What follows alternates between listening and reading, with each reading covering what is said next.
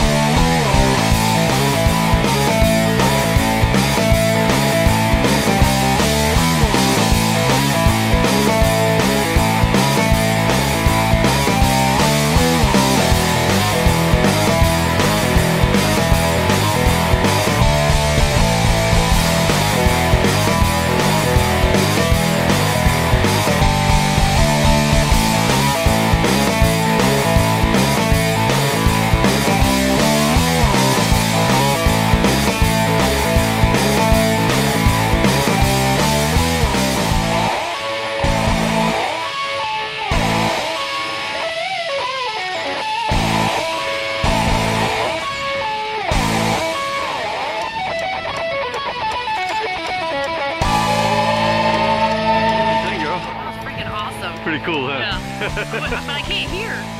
What? I mean, I can hear. hey, nice skydive. Good job, guys, both of you. Thanks. Very cool.